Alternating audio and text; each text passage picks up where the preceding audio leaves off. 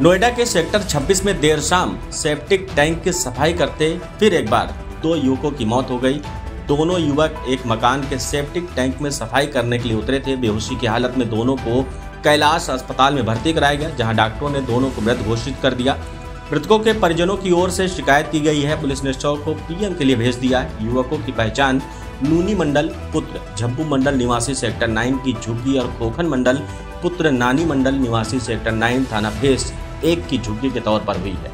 खोखन नूनी का जीजा है।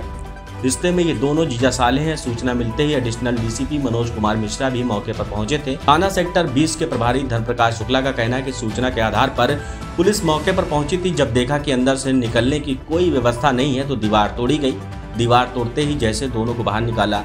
तुरंत अस्पताल ले जाएगा, लेकिन अस्पताल में डॉक्टरों ने उन्हें मृत घोषित कर दिया। उसके बाद दोनों के परिजनों को तत्काल सूचना दे दी गई। थाना सेक्टर 20 के अंतर्गत सेक्टर 26 में एक व्यक्ति द्वारा दो व्यक्तियों को अपने घर पर सेफ्टी टैंक की सफ़ाई के लिए बुलाया गया था।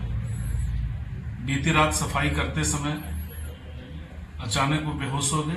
उनको बेहतर उपचार के लिए अस्पताल ले जाया गया, जहाँ उपचार के दौरान दोनों व्यक्तियों की मृत्यु हो गई है।